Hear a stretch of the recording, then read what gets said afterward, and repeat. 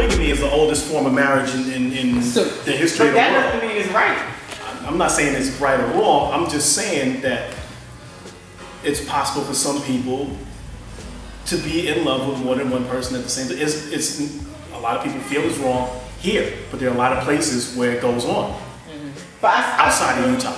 I still don't think that it's right. I don't. I still don't think that. A lot of people don't think it's right, which is why they made it illegal here. right. But there plenty, but it's the oldest form of marriage, and it goes back to biblical times, the Roman Empire, the Greek gods. They all practice polygamy. But that doesn't mean that the person, the male in the relationship, I'm assuming that it's a male with two wives.